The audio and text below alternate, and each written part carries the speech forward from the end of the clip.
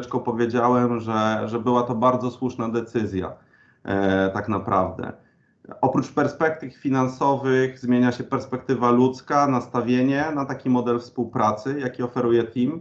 Zmieniają się oczekiwania klientów, zmieniają się priorytety, e, zmienia się struktura wartości, co jest bardzo pozytywne.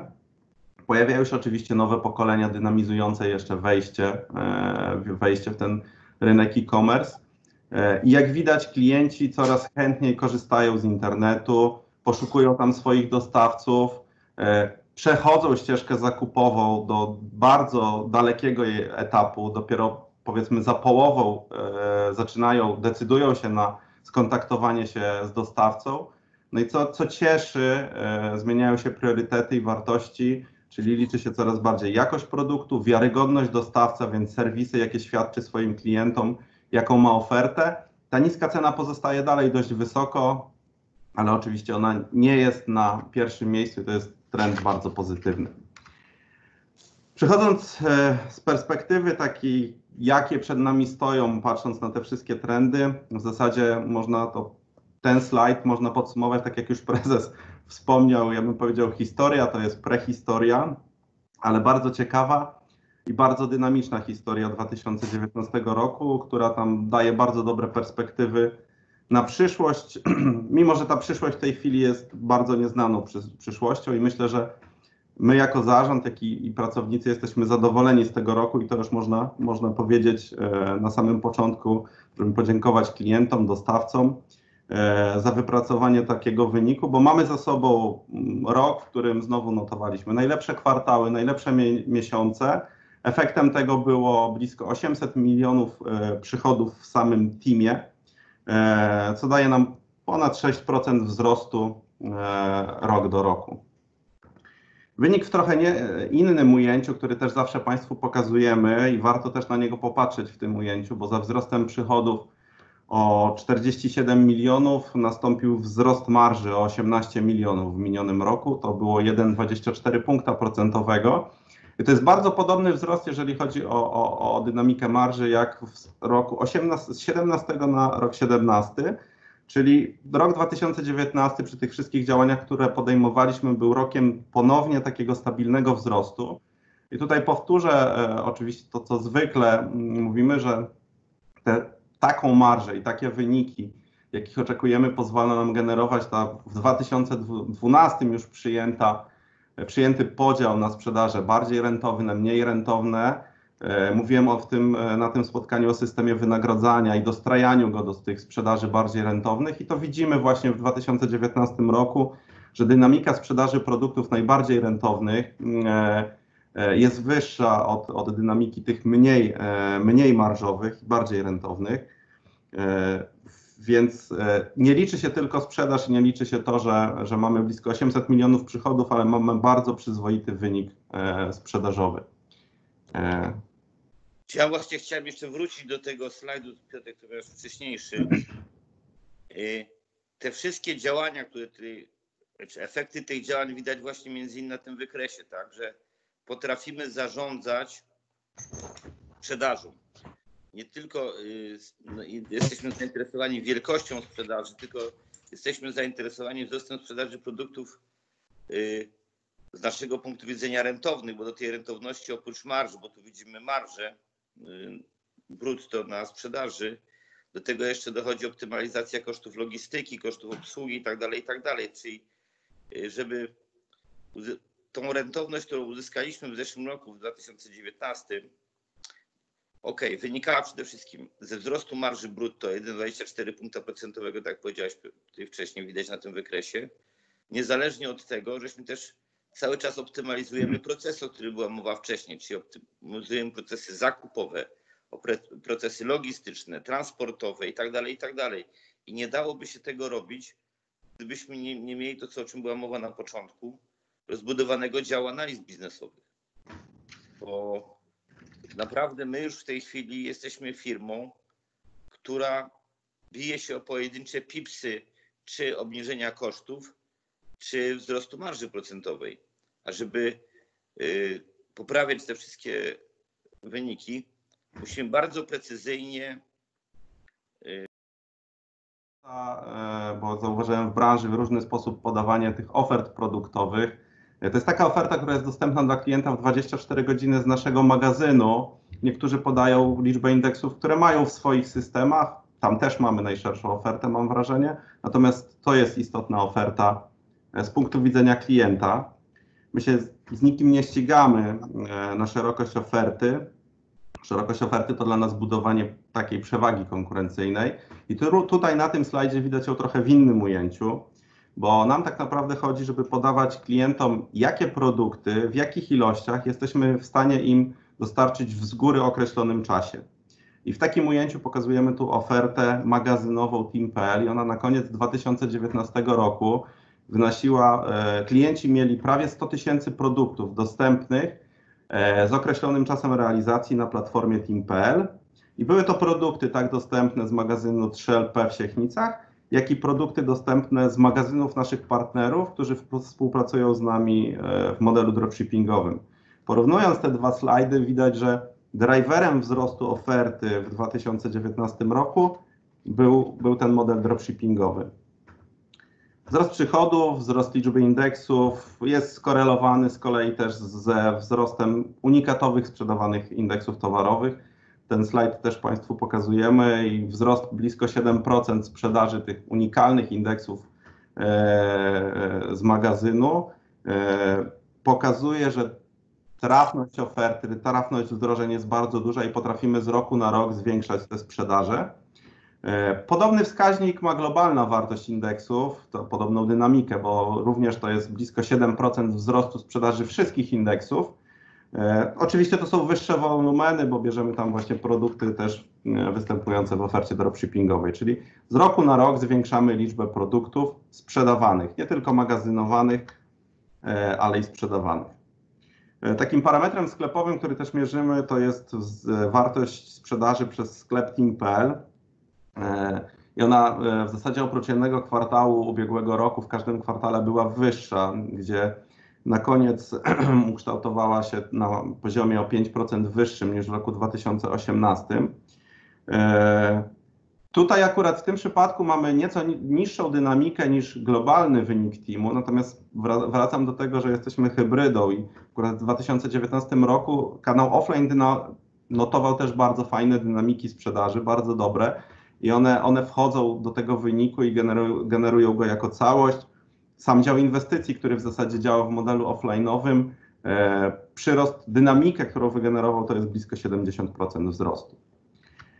Nie zmienia się w zasadzie średnia wartość linii w sklepie e, i, i mm, różnie można traktować ten wskaźnik. Na kolejnym slajdzie mamy, mamy ilość linii, jakby to skorelować, to wpływa na koszty oczywiście i wartość przychodu. Natomiast to, że ta wartość linii w sklepie się nie zmienia e, w 2019 roku jest jak najbardziej zjawiskiem pozytywnym. E, dlatego, że w roku ubiegłym e, pozyskaliśmy bardzo dużo liczbę klientów z grupy małych i średnich przedsiębiorstw i małych i średnich biznesów. Tych firm dużych nie ma wiele, my z nimi od lat współpracujemy, więc tak naprawdę zdywersyfikowaliśmy portfel klientów, rozdrobniliśmy go nieco, stąd ta wartość linii e, niespecjalnie rośnie. My w 2019 roku obsłużyliśmy blisko 1000 klientów więcej niż w roku 2018 i to głównie takich klientów e, drobnych i średnich. E, no i tak jak po- powiedziałem, liczba linii zamówień w sklepie blisko 200 tysięcy, ponad 200 tysięcy więcej linii zamówień. E, Klienci wykorzystali do tego celu platformę Team.pl. E, Liczba zamówień przekłada się bezpośrednio na wzrost sprzedaży, więc to jest taki dynamika, wzrost e, jest jak najbardziej pożądany. Tych linii jesteśmy w stanie wygenerować co jest więcej, coraz więcej E, i nasza spółka logistyczna bez problemu coraz większą liczbę tych linii obsługuje i to jest, to jest jakby bardzo pozytywne. No i na koniec. Przepraszam, przepraszam że, że przerwę. Mam tu prośbę od uczestników, y, którzy oglądają nas, się słuchają nas przez telefon, o to, aby mówić, który numer slajdu pokazujemy, bo oni tego na przykład nie oglądają to na komputerze, że mogli sobie przełączyć. Dobrze? Okej. Dziękuję. To, to obserwujemy 21 numer, e, slajd numer 21 w tej chwili. E, I to jest podsumowanie aktywności tych i wyników sprzedażowych. I tutaj kilka danych e-commerce'owych, które też od jakiegoś czasu Państwu pokazujemy na konferencjach, e, takich, które charakteryzują w zasadzie platformę e, Teampel i są, są mierzone narzędziami, narzędziami e, jakby e-commerce'owymi. E, I tutaj mamy w zasadzie e, we wszystkich wskaźnikach poprawę. E, Współczynnik odrzuceń, czyli sytuacja, w której klient nie wchodzi w interakcję ze sklepem, tylko wychodzi z niej, spadł nam o 2% i e, 21% jest wskaźnikiem bardzo dobrym, odnosząc to do e-commerce'u generalnie to jest blisko 50%, mm, w Polsce mm, niecałe 40, 30 kilka, więc ten wynik jest bardzo dobry. Współczynnik konwersji, wzrost jego z kolei e, to jest trend ten, którego pożądamy, czyli to są transakcje, które zosta- zakończyły się sukcesem, czyli zrealizowane koszyki e, rok do roku. Liczba sesji, więc liczba e, znowu interakcji e, z, ze sklepem, z portalem. My wycinamy sesję dopiero po, po 30 minutach i ona jest liczona później, czyli pojawiają się użytkownicy, którzy otwierają sesję, robią coś, e, robią coś na team.pl. E, Dobrze, żeby te wszystkie działania, które, które robią, kończyły się transakcją. Więc tych transakcji było e, blisko 400 tysięcy w ubiegłym roku i to, to jest też wzrost rok do roku. Wzrosła nam średnia, e, średni czas trwania sesji, czyli czas, jaki użytkownik spędza na Team.pl. E, I ten wzrost też obserwujemy wraz z rozwojem sklepu. My tych, e, tak jak tu wspominamy, kompetencje cały czas mm, pozyskujemy, cały czas się dostosowujemy do tego, co się zmienia. Szukamy nowych obszarów, w których możemy usprawnić naszą pracę, wyciągamy wnioski z analityki. I, I ten czas, który klient spędza na Team.pl, jego wzrost jest bardzo pożądany. Klienci w tej chwili spędzają czas na Team.pl nie tylko realizując zakupy, e, ale bardzo rozbudowana jest sekcja poradnikowa, bardzo rozbudowana jest sekcja z artykułami o produktach e, realizowanymi wspólnie przez naszych, naszych dostawców. Jest sekcja wspierająca dobór e, produktów klientowi przez automatyczną konfigurację lub wsparcie takiej konfiguracji. I ten czas, czas e, dobrze, że rośnie i najprawdopodobniej będzie rosnął, rósł. E, no i pozycja, m, tutaj trochę zmieniliśmy sposób pokazywania, pokazywaliśmy dotychczas e, pozycję takiego narzędzia SimilarWeb, które z dnia na dzień zmienia się i, i trzeba jakby, mm, to wszystko zależy od aktualnych parametrów. To jest taka bardziej, bardziej też niezależna, raportowa pozycja. Mm, W 2019 roku był jedna, jedna z firm e, dostarczających narzędzia do, do SEO, czyli do optymalizacji e, witryny pod kątem wyszukiwania, e, opublikowała taki raport, tam mierząc się z wszystkimi wielkimi w Polsce, bo to jest tak B2B, jak i B2C, e, uplasowaliśmy się poniżej tej 300, 300 pozycji. E, I to jest taki wskaźnik do poprawy, e, który, który, e, o którym wiemy, m, pokazujemy go tu, dlatego że ubiegły rok był w zakresie rozwoju w teamie. E, O poszczególnych kosztach powiem na kolejnym slajdzie przy okazji omawiania EBITDA. E, Teraz może tylko zwrócę uwagę na to, że koszty działalności operacyjnej e, z wyłączeniem wartości sprzedanych towarów, ich udział w relacji do przychodów obniżył się z 15,5% do troszkę poniżej 15%, czyli e, widać efekt dźwigni operacyjnej to pół punktu procentowego e, ta relacja się poprawiła z roku na rok. E, W konsekwencji wynik na sprzedaży wzrósł blisko dwukrotnie z 14 milionów 761 na e, 29 405. Podobnie widzimy bardzo duży wzrost, y, ponad dwukrotny, jeżeli chodzi o wynik na działalności operacyjnej. No i podobnie EBITDA, tak, dwa razy wyższa niż w roku 2018 który uważaliśmy również za bardzo dobry rok. E, W konsekwencji i wynik brutto i netto, te wzrosty też są ponad, e, ponad dwukrotne. E, Przechodząc do EBITDA i analizując, jak EBITDA się zmieniła w relacji do 2018 roku, możemy zobaczyć właśnie, e, gdzie, e, gdzie był największy wpływ na ten wzrost. I tak jak wspomniałem wcześniej, zmiana marży brutto to był główny driver. E, Z 18 milionów dodatkowej marży blisko 10 milionów wynikało z tego, że zwiększyła się procentowa marża brutto, czyli mm, efektywność naszego modelu sprzedażowego e, pozwoliła nam wygenerować procento, wyższą procentową marżę brutto, która dołożyła 10 milionów tutaj. Pozostałe 8 milionów to jest wzrost skali działalności. E, Zużycie materiałów i energii to nie, nie, nie, można powiedzieć, utrzymaliśmy jakby pełną dyscyplinę, niematerialna zmiana. E, Warto z kolei zwrócić uwagę na koszty związane z odpisami i likwidacją zapasów. Te koszty spadły aż o ponad 40%, o blisko 1 800 i tutaj to, to, jest, to są żniwa e, polityki w zakresie zarządzania zapasami, to o czym troszkę Piotr też wspomniał, e, działań, które, które intensywnie podjęliśmy jeszcze w dwu- 2017 roku, w 2018 było jakby dokończenie i teraz widzimy efekty tych prac e, e, w postaci niższych kosztów e, związanych z likwidacją, z wiekowaniem zapasów.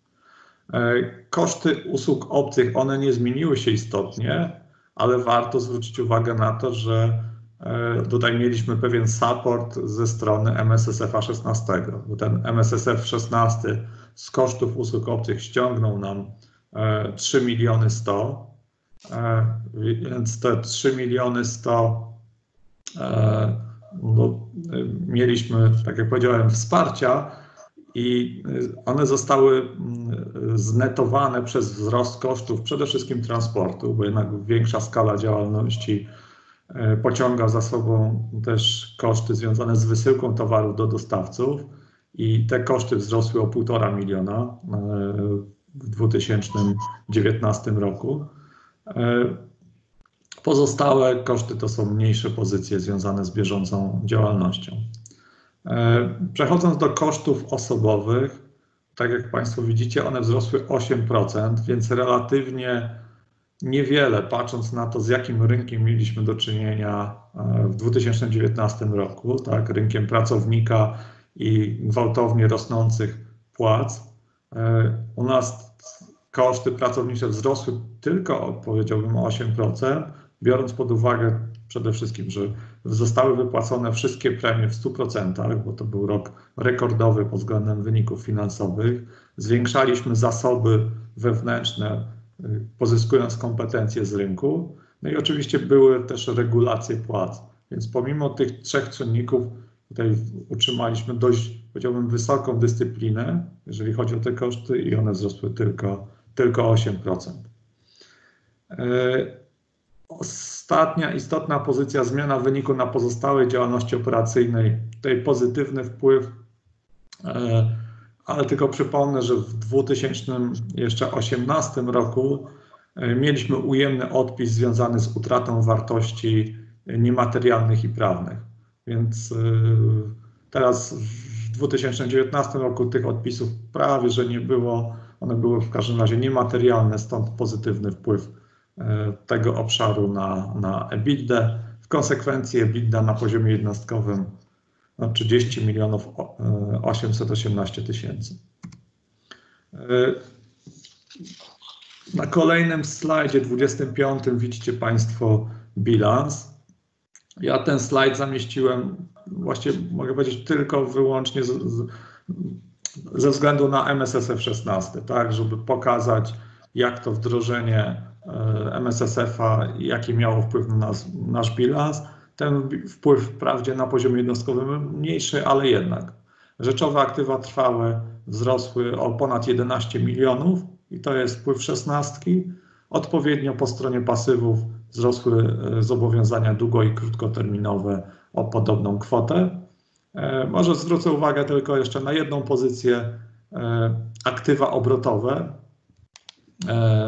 a zwłaszcza aktywa finansowe. One wzrosły istotnie o 30%, e, ale ten wzrost wynikał po pierwsze ze wzrostu należności i tutaj Piotr powiedział, że każdy kwartał e, był e, w zeszłym roku bardzo dobry, ale najlepszy był czwarty kwartał i ta wysoka sprzedaż na koniec roku oczywiście pociągnęła za sobą relatywnie wysokie saldo należności na koniec roku i z takim saldem zakończyliśmy rok.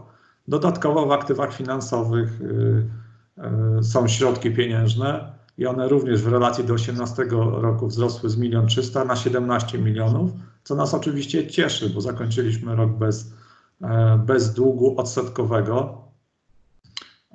Więc ten wzrost aktywów obrotowych jest, jest w pełni wytłumaczalny i, i, i e, wynika i z prowadzenia biznesu, i z tego, że wygenerowaliśmy e, dość dużą nadwyżkę środków pieniężnych. E, jak mówimy o środkach pieniężnych, to chciałbym płynnie przejść do przepływów. Na slajdzie 26 widzimy, jak te przepływy wyglądały w 2019 roku. E, po pierwsze, uwolniliśmy z kapitału obrotowego 3 miliony 900. To jest zasługa głównie zmniejszonego stanu zapasów i, i e, Piotr o tym e, wspominał, optymalizował.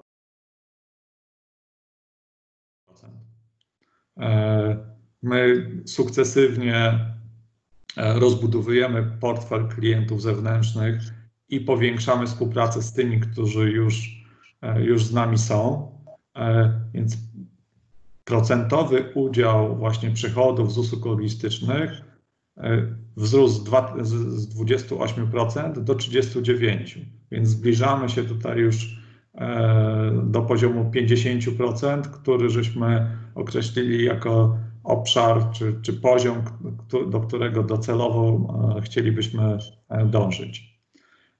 Na poziomie operacyjnym uruchomiliśmy w trakcie 2019 e, roku e, nową halę, którą wynajęliśmy w Wojkowicach na potrzeby rozszerzonej współpracy z Oponeo.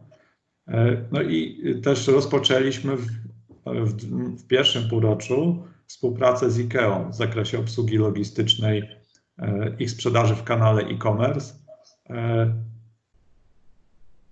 Dla 3LP to, tak jak wspomniałem, był okres intensywnego rozwoju. Tak jak rozmawialiśmy po wynikach e, poszczególnych kwartałów i półrocza, e, w pierwszym półroczu 3LP ponosiło pewne koszty związane właśnie ze zwiększoną, z przygotowaniem się do zwiększonej współpracy z nowymi klientami zewnętrznymi. W drugim półroczu już to, ta współpraca była realizowana i drugie półrocze od strony wynikowej e, dla 3LP było zdecydowanie, e, zdecydowanie lepsze. E, przechodząc do Rotopino, to wcześniej o tym wspomniałem, znieśliśmy dematerializację akcji, wycofaliśmy Rotopino z rynku New Connect. To był też pierwszy pełny rok nowego zarządu w Rotopino z nowymi celami, z nowym też raportowaniem zarządczym do, do spółki matki. E, widzimy, że Rotopino w 2019 roku dalej, dalej rosła ich skala działalności. Ten wzrost był nawet troszkę wyższy niż na poziomie teamu, bo o 6,8% przychody wzrosły do 65 milionów. Na poziomie wynikowym e, również była istotna poprawa, bo EBITDA wzrosła ponad 50%. No i o tym Piotr już wspominał. E, zacieśniliśmy naszą współpracę w zakresie działalności handlowej, e, tak żeby wykorzystać wzajemnie swoje, swoje mocne strony. Ja chciałem dodać tutaj jedną rzecz, zanim tak. przejdziemy do następnych slajdów. Y, w teamie 70% to jest sprzedaż online. My zawsze mówiliśmy, że to jest model hybrydowy. Jeżeli byśmy spojrzeli, no to Pino to jest 100% e-commerce business to consumer, z tego około 40% na eksport, 60% w Polsce. I jeżeli byśmy spojrzeli na 3LP, to y, serwisy, które świadczy 3LP, to jest praktycznie też związane z e-commerce'em, bo to jest y, Oponeo, to jest czysty żywy e-commerce, IKEA to jest e-commerce, Team w 70% to jest też e-commerce. Czyli można powiedzieć, że cała grupa y, i, i poszczególne spółki, i cała grupa jest stricte powiązane z rynkiem e-commerce'owym. I proszę teraz zwrócić uwagę na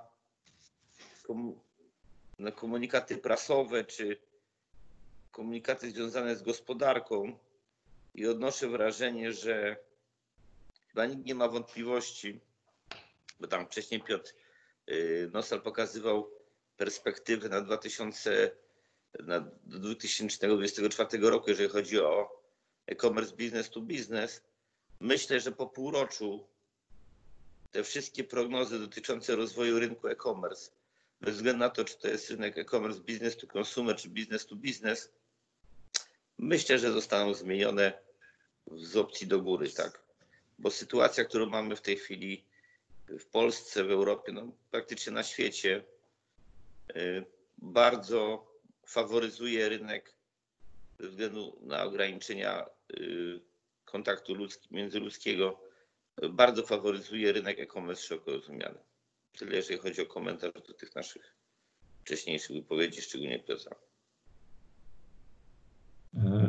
Przechodząc do kolejnego slajdu, 30, numer 32, e, rachunek wyników grupy kapitałowej w układzie księgowym.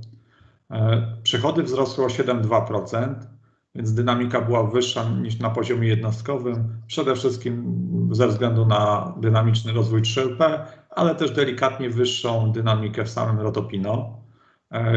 Koszty działalności operacyjnej rosły na szczęście wolniej niż przychody, bo tylko o 5,5%. O samej analityce w zakresie, jak te koszty się zmieniały, to znowu tak samo jak na poziomie jednostkowym, powiem na kolejnym, powiem, czy skomentuję na kolejnym slajdzie przy okazji omawiania EBITDA. Wynik na poziomie sprzedaży wzrósł o 85% i tutaj wszystkie spółki pozytywnie kontrybuowały do, do wyniku skonsolidowanego. Podobnie wynik na działalności operacyjnej i EBITDA te wzrosty są, te, te, te projekcje były relatywnie konserwatywne. Ale to nas cieszy, że, że dostarczamy wyniki, wyniki wyższe, że kolejny rok rzędu pobiliśmy to, co rynek czy zespoły, które naprawdę wchodzą bardzo głęboko w nasz biznes i starają się zrozumieć wszystkie, wszystkie, wszystkie niuanse naszej grupy kapitałowej, więc to nas niezmiernie cieszy, że, że wyniki, tak jak powiedziałem, dowieźliśmy lepsze niż konsensus rynkowy. I ja teraz, może tak. wrócę do tych prognoz. Myślę, że wszyscy analitycy finansowi makro i specjaliści od poszczególnych branż 19 rok to był, jeżeli chodzi o prognozy, miód malina, bułka z masłem. Ja jestem ciekaw, co się będzie działo w tym roku, jeżeli chodzi o, o analizy, bo będzie na pewno ciekawiej. Dla mnie taką ciekawostką tegoroczną to jest ujemna cena ropy. Trochę lat już żyję, pierwszy raz to się zdarzyło, więc myślę, że będziemy mieli do czynienia z sytuacjami, dla których dla wielu z nas, łącznie ze mną, będą te sytuacje, z którymi się spotkałem pierwszy raz w życiu. Także będzie na pewno ciekawiej, jeżeli chodzi o analizy wszelkiej maści. Tyle, jeżeli chodzi o analityków z mojej strony. I wracamy do tego, co już było wcześniej powiedziane. To jest slajd 38. Drugi raz, bo pierwszy raz żeśmy zrobili to w 2018 roku, jeżeli chodzi o raport zintegrowany i tutaj y, pokazaliśmy te działalności niebiznesowe, jeżeli chodzi o, o Team SA. Y, w tym roku żeśmy to, ten rok raport tegoroczny jest kontynuacją jakby tego, co rozpoczęliśmy w zeszłym roku, czyli zintegrowanego raportu. Y, żeśmy w tym roku wdrożyli, tak jak Piotr powiedział wcześniej, żeśmy przedstawili strategię rozwoju grupy, Teamu SA na lata 2019-2021. Tam żeśmy się bardziej skupiali na stronie biznesowej, czyli y, do, docelowo 1 miliard sprzedaży, jeżeli chodzi o Team SA, rentowność EBITDA 3,6%. I tutaj chciałbym też nawiązać do tego, co było w tej strategii z prawej strony, bo tam ona jakby ten domek był podzielony na lewą i na prawą stronę i z prawej strony była mowa o nowych aktywnościach. Tam był między innymi dropshipping, którym już Piotr Nosal wspomniał. y, y, dropshipping, jeżeli chodzi o rok ubiegły, to się skończył mniej więcej na poziomie 1%, jeżeli chodzi o obroty, ale w samym czwartym kwartale to było ponad 1,7-1,8%. Podobne wskaźniki, chyba nawet wyższe są w pierwszym kwartale tego roku i to będzie na pewno rozwijane. Tam jeszcze zostały dwie aktywności y, business to business to consumer, też nad tym pracujemy, też jest to rozwijane i trzecia aktywność, która została w tej strategii wymieniona, y, to było y, marketplace. Też jest w kolejce, że tak powiem, do wdrożenia jako jedna z nowych aktywności Team USA, bo tak jak powiedziałem wcześniej, musimy szukać cały czas nowych driverów, ale konsekwencją strategii Teamu była strategia Team Pro na lata 2019-2021 i tutaj dwa takie główne aktywności, które zostały kontynuowane były w 2018 i 2019 roku, to jest wewnątrz firmowa rywalizacja team, integracja multisportowa. To polega mniej więcej na tym, że pracownicy biorą udział w rywalizacji poprzez uprawianie różnego rodzaju aktywności sportowych. Jest to wszystko rejestrowane przez aplikację Endomondo. Kalorie są zamieniane na złotówki, a te złotówki my przez, jako firma wypłacamy różnym rodzaju, trzy rodzaje stowarzyszeń czy organizacji charytatywnych. Także tutaj nie wspieramy wszystkich, mamy trzy wybrane organizacje, gdzie, gdzie finansujemy. Podobnie działamy też, jeżeli chodzi o wolontariat pracowniczy w ramach tej akcji Team Pro, że określiliśmy sobie w ramach tej strategii, jaki procent zysku przeznaczamy na działalność charytatywną i na wolontariat pracowniczy. I tutaj chciałem, ten wolontariat pracowniczy to jest rzecz, która mnie najbardziej cieszy, proszę Państwa, bo to nie jest, może wróćmy do tego slajdu z tym wolontariatem pracowniczym, to nie jest pokazówka, którą ja często widzę, że w weekend pracownicy dostaną tam od firmy kilka puszek ze sprayem farby i pójdą do parku, pomalują dwie ławki, zrobią z tego filmik i puszczą na YouTube'a. My mamy trochę inaczej, inne podejście do wolontariatu pracowniczego. Dajemy dużą swobodę naszym pracownikom, a chciałem zwrócić uwagę, że nasza firma ma oprócz siedziby we Wrocławiu ma 16 biur na terenie całej Polski. I tak lecąc po kolei, nasi pracownicy szukają różnego rodzaju organizacji czy po potrzebujących pomocy. I chciałem zwrócić tak po kolei, jeżeli chodzi o zdjęcia. To zdjęcie z psem to wiadomo, to jest zbiórka dla psiaka, kociaka lub innego zwierzaka. Pomysłodawczyni pani Natalia Ołdakowska wolontariat realizowany ze wsparciem pani Sylwii Górskiej. To nasi pracownicy znaleźli to schronisko, zbierali pieniądze i zakupiono rzeczy. Szczególnie to w tym roku będzie to bardzo duży problem, jeżeli chodzi o wszelkiego rodzaju schroniska.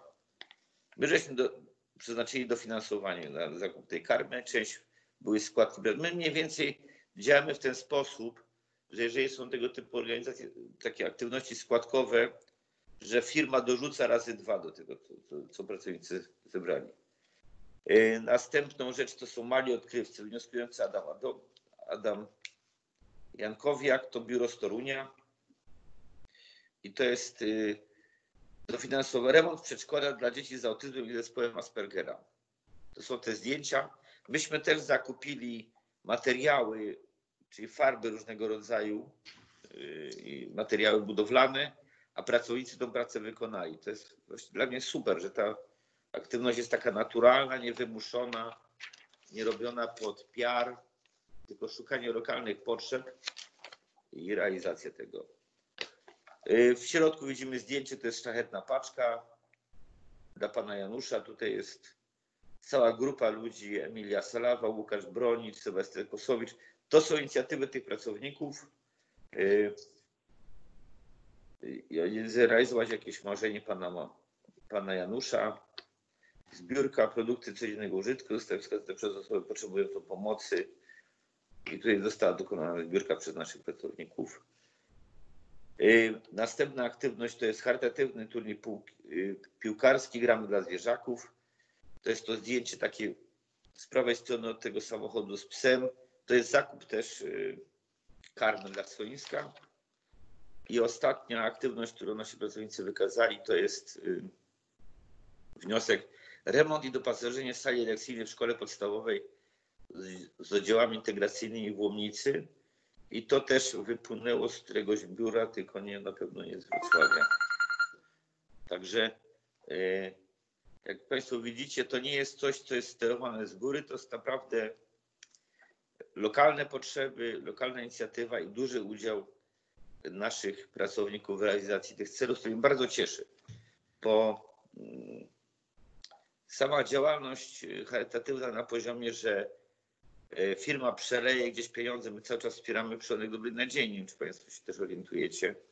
W zeszłym roku żeśmy zakupili takie urządzenia, które pozwalają tym e, leczonym dzieciom szybciej opuścić szpital i przebywać w domu. Y, I to jest jakby firm, firmowa działalność, a to w tej chwili, co wymieniłem, to jest autentycznie aktywność naszych pracowników ich duży wkład pracy. Chciałem wszystkim podziękować, że mamy taką super załogę, jeżeli chodzi o ten wolontariat pracowniczy. Także widać, tak jak zawsze powiedziałem, nie robimy tego na pokaz, nie robimy tego y, dla marketingu, szukamy realnych potrzeb lokalnych i z dużym udziałem realizacji i wkładem pracy i aktywności naszych pracowników. Co mnie bardzo cieszy. Chciałem podziękować wszystkim, którzy brali udział w tych, w tych wolontariatach pracowniczych, jeżeli chodzi o to. I wracając do wolontariatu, tutaj duży ukłon do Radka Kellnera. Bo Radek Kellner z Rafpluga był inicjatorem takiej akcji zakupu sprzętu y, ochronnego dla naszego szpitala chorób zakaźnych na Koszarowej. Nie wiem, czy Państwo się, ci, co nie są z Wrocławia, to może nie wiedzą, ale ordynator y, tego szpitala, profesor Siemon, często występuje w różnego rodzaju mediach. To jest szef tego szpitala. Radek Kellner zainicjo- zainicjował taką akcję zrzutki i zorganizował zakup sprzętu ochronnego, tam maseczki, ubiory, rękawice, gogle i te wszystkiego rodzaju rzeczy dla tego szpitala. Także Radek super. No i tu wzięły wrocławskie firmy udział. Byliśmy my, Impel Kruk i Kredyt Agricole, także chciałbym i 1500 osób indywidualnych. Razem zebraliśmy 900 tysięcy złotych, także Radek super pomysł. Tyle, jeżeli chodzi o sytuację bieżącą i tutaj chciałem oddać głos też Piotrowi Nosalowi. My y, mamy to szczęście jako firma, że potrafimy działać zdalnie. Dzisiejsza konferencja jest tego y, przykładem. Też wprowadziliśmy pewnego rodzaju aktywności, które pozwalają kontaktować się nam i naszym klientom zdalnie. Tutaj chciałem, żeby y, Piotr Nosal kilka słów opowiedział o tym, co się wydarzyło w ostatnim czasie, chyba tygodniu nawet. Tak. Myślę, że krócej. Czy co się, jak, jak, jak pracujemy, może taki, to teraz wszyscy też pytają i bardzo często słyszymy też, że, że się pojawiają pytania takie, a czy pracujecie w ogóle, bo to teraz w dzisiejszych czasach nie jest oczywiste. My przygotowywaliśmy się e, do tej sytuacji e, pod kątem zapewnienia ciągłości dostaw już gdzieś tam w lutym. E, Pewne prognozy zostały zwiększane i zabezpieczenie tego towaru, żeby klienci mogli go u nas kupować. Zaraz po wdrożeniu pierwszych jakichś takich obostrzeń przez, prze, przez rząd e, rozproszyliśmy się w bardzo sprawny sposób. Pracujemy, pracujemy w modelu zdalnym. W zasadzie e, można powiedzieć, że zrealizowaliśmy to operacyjnie w trzy dni, tylko dlatego, żeby dopasować e, stanowiska pracowników, którzy wprost nie mogli tak pracować do, do, do, do takiej potrzeby i to uważam, że zdaliśmy tutaj egzamin z digitalizacji, organizacji i, i, i, bardzo dobrze to działa i to działa do tej pory. Wdrożyliśmy tryb takiej pracy, pracy zdalnej, ale też pracy polegającej na wymienianiu się częstszymi informacjami, spostrzeżeniami, obserwacjami z rynku, e, pomysłami, e, co ważne, jak w takim modelu pracować, bo dla nas wszystkich e, e, w teamie, jak i pewnie też dla Państwa on jest nowy i to dzielenie się tymi inicjatywami oddolnymi jest tym bardziej w tej chwili potrzebne, bo można je wykorzystywać, modyfikować do, e, do tego, że, że, żeby stawały się naszą codziennością. E, I różne inicjatywy się w trakcie pojawiały. I to, co wspomniałem e, na samym początku, gdzieś tam w mojej prezentacji, że nasz model daje duży komfort i duże bezpieczeństwo we współpracy. Przygotowaliśmy i, i działamy, pozyskujemy nowych klientów, kontaktujemy się z nimi w sposób zdalny, e, kierujemy ich na sklep, podejmujemy to wyzwanie wdrożenia zdalnego z dużym skutkiem, bo obserwujemy napływ nowych klientów, klientów, którzy e, gdzieś historycznie e, tego modelu nie akceptowali e, i nagle następuje e, zwrot akcji i oni do nas wracają. No i żeby ich tak trochę przywitać na sklepie i też dać narzędzie naszym ludziom, ten pomysł, pomysł był oddolną inicjatywą, która właśnie była robiona na własną rękę przez wielu naszych przedstawicieli, handlowców.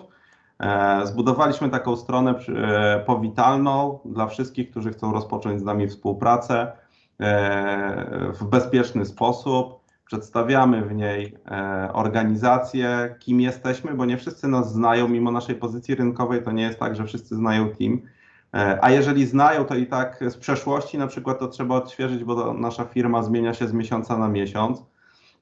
Klient znajdzie tutaj parę informacji o filmie, o firmie, nasz film korporacyjny, E, znajdzie to, co stoi e, za tą stroną internetową, czyli bardzo mocno zautomatyzowaną i sprawnie działającą logistykę, którą może obejrzeć e, sobie na filmie wprost z centrum logistycznego 3LP, które też w tych trudnych czasach, jakby nie było, będąc na pierwszej linii frontu, daje sobie doskonale radę, dźwiga ten ciężar wzrostu pierwszego kwartału, jaki mieliśmy w teamie, ale e, można e, domniemywać, że pozostali klienci e-commerce'owi zanotowali też bardzo dobre wyniki.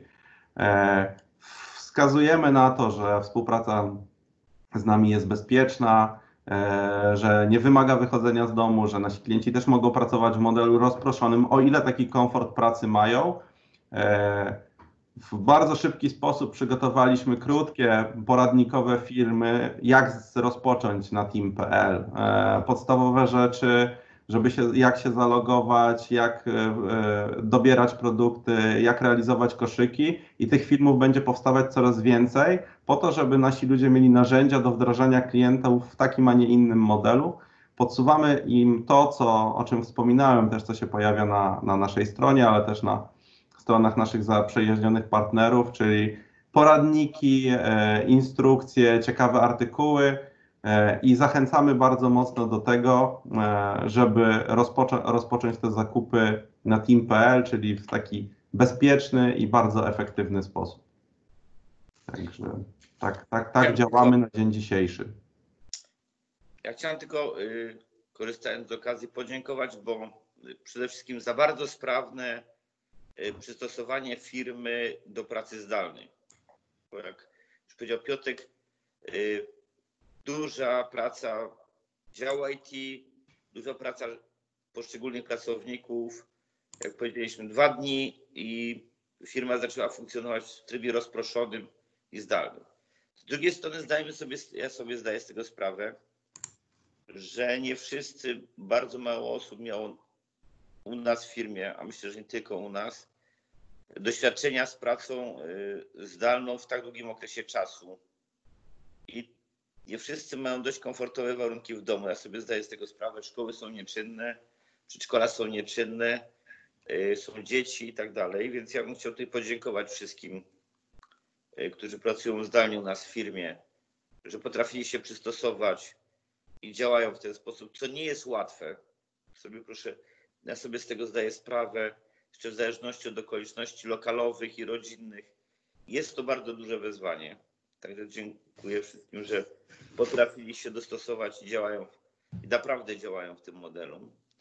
No i tutaj, jak powiedzieliśmy, bardzo duży szacun dla 3LP. Mm, to jest, to jest 350 osób w jednym miejscu. Jeżeli ktoś ma do czynienia z zakładami pracy, więc y, zarząd 3LP przykłada dużą wagę do wszelkiego rodzaju środków ochrony osobistej, maski, rękawiczki, przyłbice, cała masa różnego rodzaju y, dezynfekujących płynów.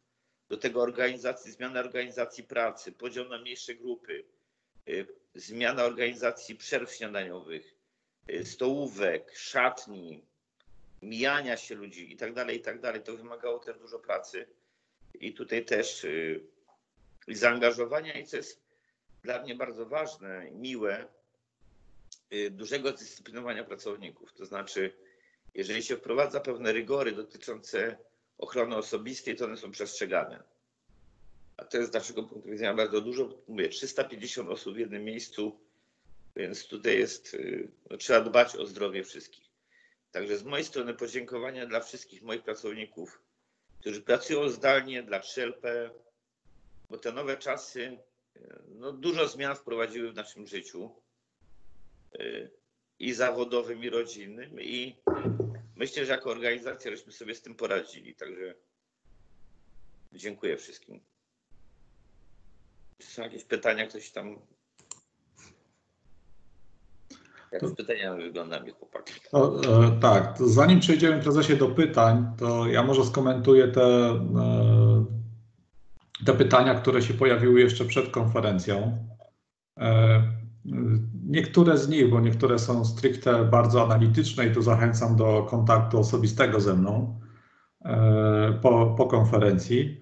E, Pojawiło się pytanie odnośnie kosztów finansowych i, i zmienności tych kosztów.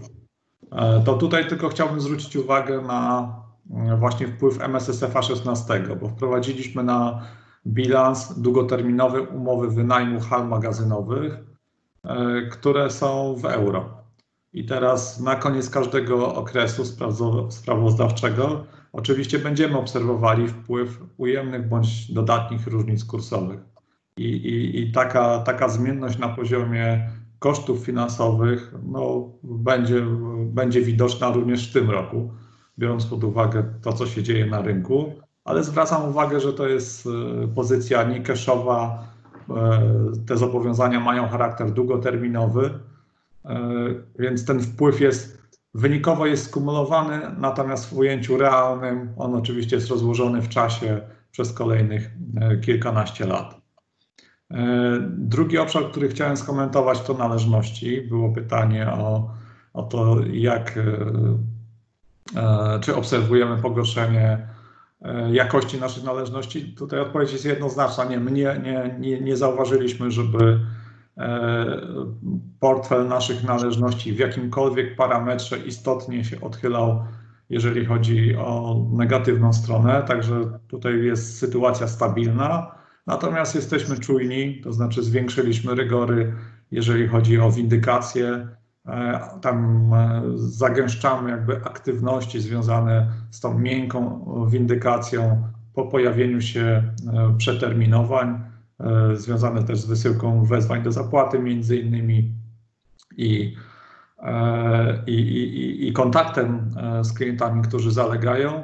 E, Przedłużyliśmy umowę ubezpieczenia naszych należności, także ten portfel jest też e, pokryty ubezpieczeniem w większości e, i, i, i polisa na, na kolejne miesiące jest, e, jest zabezpieczona. Także nie widzimy od strony należności podwyższonego ryzyka.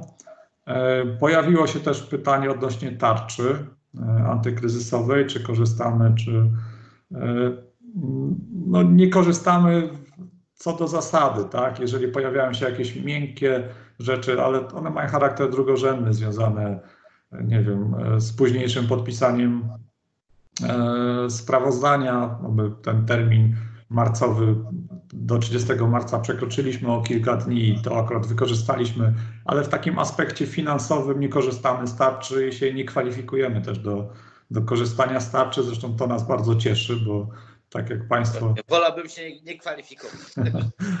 tak jak Państwo obserwujecie nasze wyniki sprzedażowe e, to na bieżąco, to e, nie, nie odczuliśmy negatywnego wpływu po stronie e, sprzedażowej, także z tarczy nie korzystamy.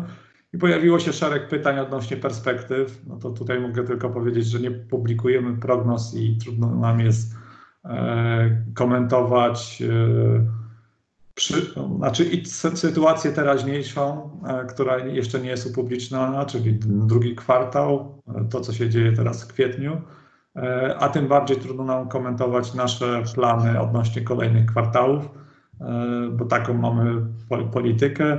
E, Pewnie pan prezes później będzie chciał jeszcze powiedzieć o e, trochę o szerszej perspektywie, natomiast nie podajemy, nie podajemy żadnych, żadnych cyfr.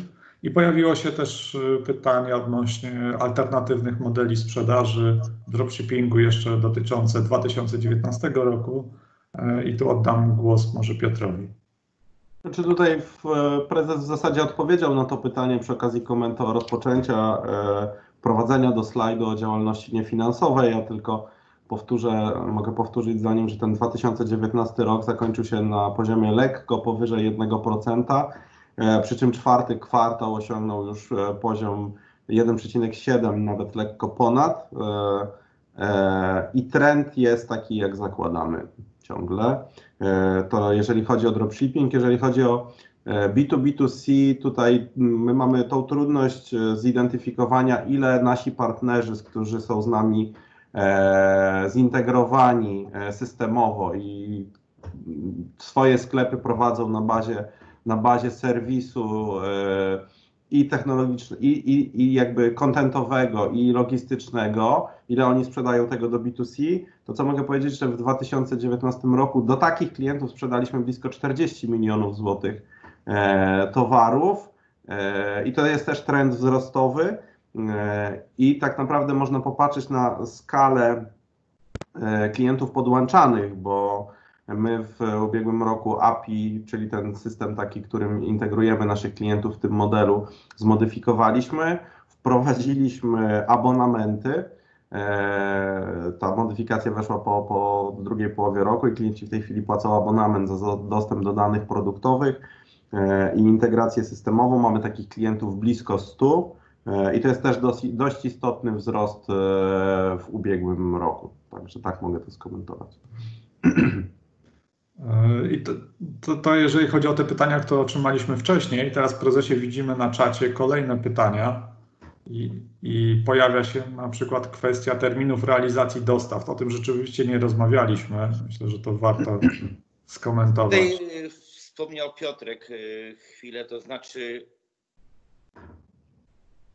podjęliśmy decyzję w połowie lutego, kiedy epidemia była tak naprawdę tylko w Chinach. W Europie była sielanka i spokój, że mogą być problemy z y, łańcuchami dostaw. Y, W pierwszym momencie myśleliśmy o- o dostawcach chińskich, ale pod koniec lutego też pomyśleliśmy o dostawcach europejskich i polskich. W związku z powyższym, już Piotr wspominał o tym, zwiększyliśmy prognozy zakupowe. I ten proces się rozpoczął w połowie lutego. Chyba w tym tygodniu się już to zakończyło. Myślę, że tak z tego co ja wiem. Y, To się, z- y, efektem tego było lekkie przewymiarowanie zapasów y, na naszym magazynie. Przy czym z tego co ja się orientuję, to Piotr na pewno Tokarczuk, zresztą myśmy to wcześniej konsultowali, ten wzrost zapasów nie jest dla nas finansowo jakimś dużym obciążeniem i nie, stanowi problemu, ale na pewno mamy taki komfort, y, że bez względu na to, co się będzie działo w Polsce i poza Polską, mamy zapewniony dostęp do towaru. I myślę, że nikt z nas w tej chwili nie jest w stanie określić, gdzie nastąpią perturbacje w łańcuchach dostaw. Jeżeli pytamy naszych partnerów biznesowych, skąd biorą elementy i półprodukty, to w pierwszym momencie jest odpowiedź, że na pewno nie z Chin, ale jak po dłuższym zastanowieniu to jest odpowiedź, to my tak naprawdę nie wiemy. Także tutaj e, kosztem lekkiego wzrostu zapasów myślę, że zapewniliśmy e, dużą dostępność produktów na naszych magazynach, co wydaje się w najbliższym czasie będzie dość ważnym elementem. W tej prezentacji tutaj przeoczyliśmy jeden slajd, który jest w raporcie rocznym, a bardzo go lubię. Sprzedaż y, w godzinach między 16 chyba a 6 rano następnego dnia. I z tego co pamiętam, to jest ponad 72 miliony złotych rocznie Tak. w 2019 roku. I sprzedaż w weekendy to jest 12 milionów, czyli razem możemy powiedzieć, że w, w okresie, kiedy model tradycyjny nie, nie funkcjonuje, my sprzedajemy 84 miliony złotych przy sprzedaży 800 niecałe milionów, czyli ponad 11%, około 11% sprzedajemy y, poza godzinami tradycyjnego handlu. To uważam jest bardzo dobrym wskaźnikiem, jakby też pokazuje siłę modelu online'owego. Zawsze żeśmy mówili 24 godziny, 7 dni w tygodniu i tutaj widać 11% to wynika właśnie z tych 24 godzin i tych 7 dni w tygodniu. Także to jest też taki dodatkowy argument dla nas. Jeżeli chodzi o przyszłość, proszę Państwa, ja powiedziałem, już trochę lat żyłem. Pierwszy raz spotkałem się z ujemną ceną ropy na rynkach e, światowych, to jest raz. I myślę, że takich niespodzianek, z którymi się żeśmy spotkamy się wszyscy po raz pierwszy w życiu, będzie coraz więcej. I nie jest naszym celem i mówieniem, że my jesteśmy jasnowidzami, mamy jakieś kryształowe kule i potrafimy przewidywać przyszłość, bo raczej sądzę, w dzisiejszych czasach yy, jest mało ludzi, którzy w ogóle się zaczną w takie rzeczy bawić, jeżeli odpowiedzialnych ludzi mam na myśli. Naszym celem jest zarządzanie organizacją, która jest permanentnie monitorowana. Praktycznie, jak już żeśmy powiedzieli, dział analiz biznesowych jest moim oczkiem w głowie, czyli praktycznie po każdym dniu znamy wszystkie parametry, które są ważne dla działania firmy, czyli należności, należności przeterminowane, zapasy, cała struktura zapasów, aktywności klientów itd., itd. Tak Mało Warniodek się, się rozwodził na ten temat. I bardzo szybko podejmujemy decyzje korygujące. I wydaje mi się, i to jest wszyscy, y, nie wiem, modny taleb z czarnym łabędziem. Ja o tym czarnym łabędziu wiele żeśmy o ten temat rozmawiali. I chyba mamy teraz tego czarnego łabędzia w całej okazałości, takiego wzór Sewr, bym powiedział. Mało kto sobie mógł wyobrazić, jak to będzie wyglądało. I odpowiedzią na, na tego typu, to co budujemy od kilku lat zresztą, nie, od wielu lat budujemy jest to, żeby firma była właśnie antykrucha, czyli żeby potrafiła w bardzo szybki sposób dostosować się do sytuacji zewnętrznej. Bez względu na to, jaka ta sytuacja będzie, tak? Oczywiście nie jesteśmy żadną zieloną wyspą, żyjemy w tym kraju, żyjemy w Europie, ale wydaje mi się, że tą umiejętność szybkiego dostosowywania się do okoliczności zewnętrznych mamy jako organizacja. Dwa, bardzo szybko wdrażamy, jest duża inicjatywa nowych pomysłów i nowych aktywności, bo sytuacja wymusza nowe rozwiązania i potrafimy te rozwiązania efektywnie, szybko wdrażać. I wierzcie mi Państwo, mimo tej sytuacji rozproszenia w firmie, tak naprawdę ostatni raz byłem chyba pierwszy dzień czy drugi dzień marca. E, e, cały czas załatwiamy te rzeczy zdalnie albo przez tego typu aplikacje, jak teraz ta konferencja, albo przez telefony. To wcale nie zmniejszyło efektywności działania firmy, czyli pokazuje to, że potrafimy jako organizacja, jako poszczególni ludzie działać w różnych warunkach. I to mogę tylko, jeżeli chodzi o przyszłość, powiedzieć, że to jest naszą siłą i dlatego tak dość spokojnie patrzę, patrzę w przyszłość.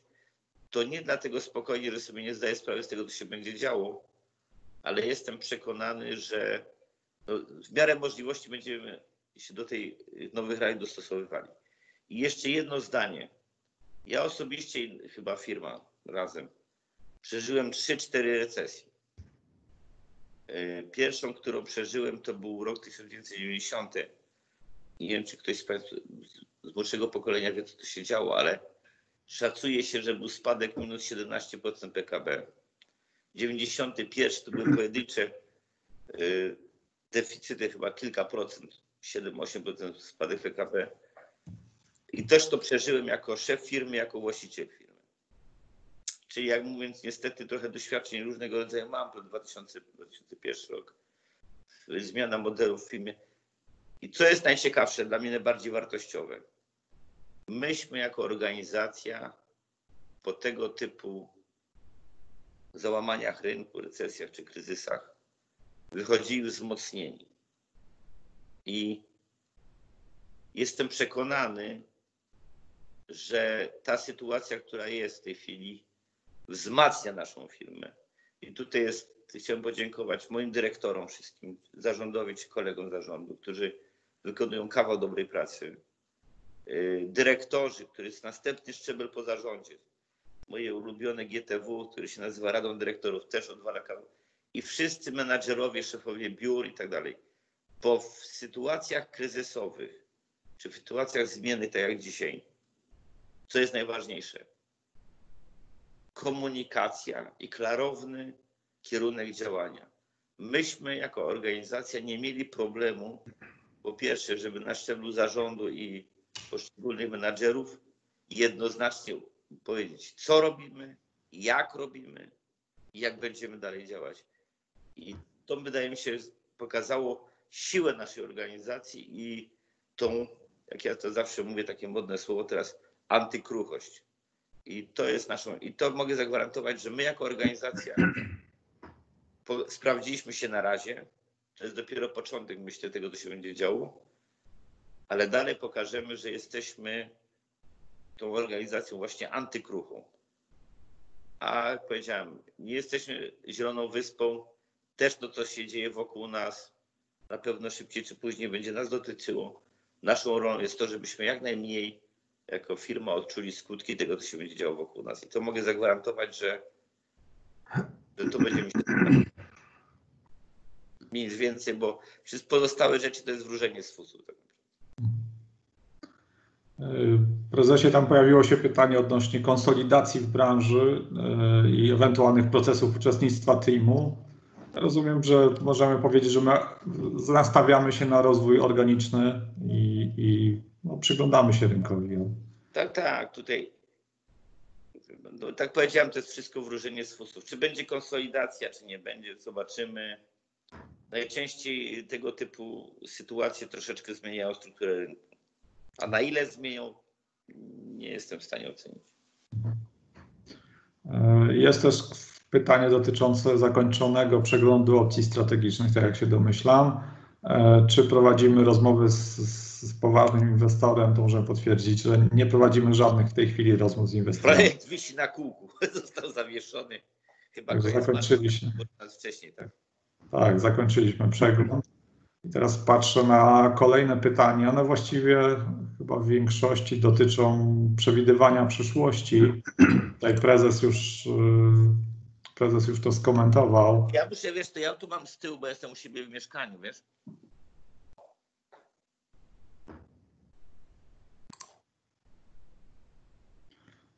O, znalazłem. Jakiś rekwizyt będziemy mieli. Tak, o. Nie wiem, czy tu widać. Nie widać, tak? Wyżej prezes musi się. Tak. O, tu mam taką kulę. I możemy sobie w tą kulę patrzeć. Wszyscy Państwo widzą to chyba w, w telewizji, widzą, czy w komputerach. Tak, widać, widać. prezes. Tak, i jak- co kto zobaczy, to może powiedzieć. Przyszłości. Ja radzę, można się, jeszcze mogę przybliżyć, można się wpatrzyć w tą kulę.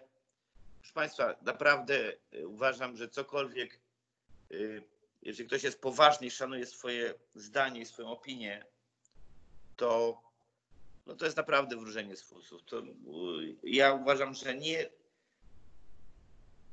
To jest tak jak z, z rolą y, szkoły tak, czy studiów wyższych.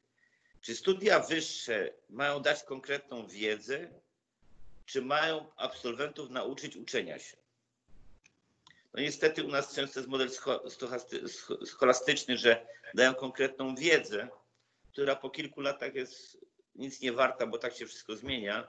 I tak samo jest z organizacjami. Czy się tworzy organizację, która jest y, przystosowana i sprawnie przechodzi zmiany, tak powiedziałem, to ładne to słowo się pojawiło Taleba, antykrucha, antykrucha czy elastyczna, czy y, się pisze strategie co chwilę, które za chwilę, strategie na 5 lat, które są, się wyrzuca za chwilę do kubu, albo są psu na budę, więc naszą rolą jest zbudowanie organizacji, która jest antykrucha i elastyczna i obserwuje otoczenie i dostosowuje się do otoczenia, a nie budowanie sobie jakichś tam zamków na piasku, co będzie za rok, za dwa, za pięć. I to jest nasza odpowiedź. Dzięki temu przechodzimy te zmiany. Ja proszę Państwa powiedzieć, że zmiana 2014-2015 tego modelu to z punktu widzenia naszych pracowników chyba była większym szokiem niż to, co się dzieje w tej chwili na rynku. Tak i patrząc po emocjach. Także myślę, że to był taki sprawdzian i dlatego nam tak ładnie poszła i sprawnie zmiana modelu na pracę zdalną. Także mówię, to jest, to jest DNA naszej organizacji, czyli permanentna zmiana i, i dostosowywanie się do sytuacji zewnętrznej. I nic więcej. No i ja tutaj, tutaj jakby może dodam też, że niezależnie od tego, co się dzieje, bo tutaj są takie pytania o to, jak się konkurencja zachowuje, czy możemy liczyć na wzrosty udziału w rynku. My, tak jak prezes powiedział, realizujemy swój założony plan, dostosowujemy go w zasadzie z tygodnia na tydzień, bo tak dynamicznie w tej chwili zmienia się to otoczenie. E, I te długoterminowe cele, które mamy, one pozostają w mocy i my chcemy pozyskiwać, e, zwiększać udziały w rynku, niezależnie od tego, co się dzieje. Jedno, co na pewno możemy powiedzieć, i patrząc na te prognozy wszystkie i na to, o czym, o czym się mówi w tej chwili e, i co obserwujemy e, na rynku, to e, będąc w takim modelu działania i, na, e, i mając już kilkuletnie doświadczenie z takim modelem, na pewno jesteśmy w lepszej pozycji niż wielu naszych konkurentów, jak i wiele firm spoza zupełnie naszej branży, które e, w tej chwili stykają się z rzeczywistością i, i, i szukają rozwiązania na tu i teraz. A takich firm poza branżą jest bardzo dużo. Także niezależnie od tego, my chcemy się rozwijać cały czas. Ja, ja może jeszcze dodam, e, bo tam też pojawiło się w tle gdzieś e, 3LP. E, Znowu ta sytuacja rynkowa uwalnia, czy jest driverem wzrostu 3LP, bo jest większe zainteresowanie e, sprzedażą w kanale e-commerce i to 3LP wyraźnie odczuwa, także to akurat e, od tej strony rynkowej jakby sprzyja tej strategii zwiększonej e, e, zwiększonej współpracy z klientami zewnętrznymi. Coś ciekawego się pojawiło jeszcze? Teraz już prezesie już nie mamy pytań e, jakichś nowych. Pytanie, co z dywidendą za 2019 i 2020? No 19 ogłosiliśmy. Tak. Coś takiego. y, Żeśmy ogłosili po decyzji Rady Nadzorczej, myśmy mieli Radę Nadzorczą podsumowującą rok. Był wniosek zarządu do Rady Nadzorczej co do dywidendy. Właśnie ja tutaj sobie teraz ten wniosek przygotowałem. Z tego co pamiętam, to jest kwota 5 549 tysięcy nad grosikami. Na wypłatę dywidendy mówimy o 19 roku, o zysku za 19 roku.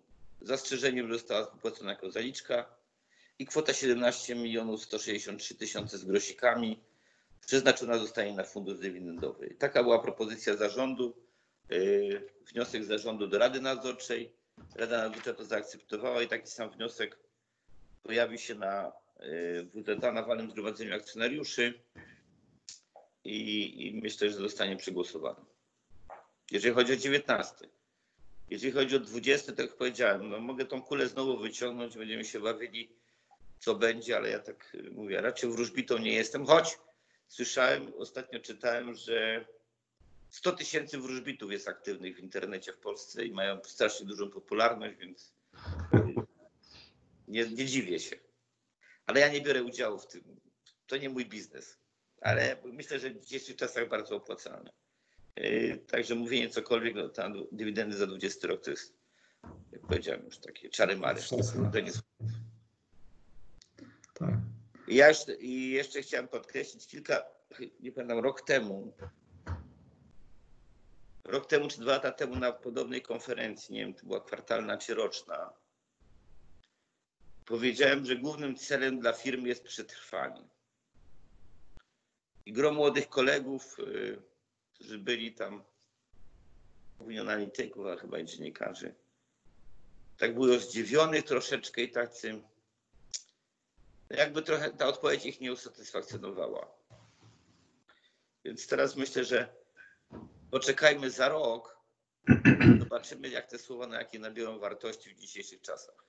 A to wynikało z tego, że ja przeżyłem już kilka recesji, więc myślę w tej chwili mówienie o przetrwaniu dla wielu firm będzie naprawdę dużym wyzwaniem. I życzę wszystkim y, żeby, my mamy bardzo komfortową sytuację z racji i sektora, w którym działamy, i modelu, w którym działamy, i trzech spółek, które działają i tak dalej. Jak powiedział, mamy komfortową sytuację i ja życzę wszystkim, bez względu na branżę i na sektor, tylko tego, żeby te firmy przetrwały tą dzisiejszą sytuację. I myślę, że to jest dla nas wszystkich, jako mieszkańców tego kraju podatników, obywateli, chyba najważniejsza rzecz, żeby jak najwięcej firm przetrwało ten, te dzisiejsze czasy. I tego życzę wszystkim. Z mojej strony tyle. E, Musimy już chyba kończyć. Jeżeli pojawią się jakieś pytania z Państwa strony, to, to prosimy o kontakt bezpośredni na adres relacji inwestorskich i postaramy się odpowiedzieć. E, Często te pytania są bardzo detaliczne, więc też e, wymagają e, przygotowania z naszej strony. To co, dziękujemy, tak? Myślę, że tak, prezesie. Ja dziękuję wszystkim, którzy się do kamerek podłączyli. Jak powiedział Piotr, będziemy starali się odpowiedzieć mailowo, tak? Czy to ja telefonicznie, będą z mailami, to mam jakiś mały problem, nie lubię za bardzo. Ale wy na pewno lubicie, moi koledzy lubią odpowiadać na maile. I proszę Państwa, naprawdę my będziemy to, co robiliśmy cały czas. Co miesiąc będziemy y, wysyłali raporty dotyczące sprzedaży miesięcznej. I tyle możemy Państwu obiecać. I nic więcej. I tak powiedziałem, u nas są, że tak powiem, tygodniówki. My działamy w systemie tygodniowym. I wiele inicjatyw i wiele działań, one nie są o takim dużym znaczeniu strategicznym, pojawiają się z tygodnia na tydzień i to jest właśnie ta elastyczność, że potrafimy się, staramy się, może inaczej, staramy się dos- dostosować do sytuacji zewnętrznej. I tyle. To mogę obiecać, tak robimy, a po wynikach nas poznacie. Dziękuję bardzo. Dziękujemy bardzo. Dziękujemy bardzo. Dziękujemy za uczestnictwo.